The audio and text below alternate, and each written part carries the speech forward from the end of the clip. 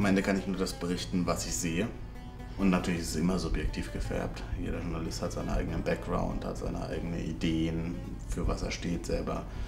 Insofern wäre ich mit dem Begriff Objektivität selbst auch, auch bei der Fotografie, bei Filmen, bei allem äh, sehr vorsichtig.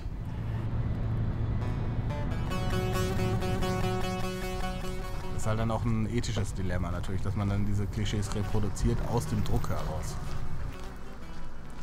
Ich versuche halt immer diese Klischeebilder eigentlich schon zu ver verhindern. Aber das Traurige ist, dass man es trotzdem automatisch einfach mit aufnimmt, weil man weiß, am Ende wird man das verkaufen, weil die Zeitung das will.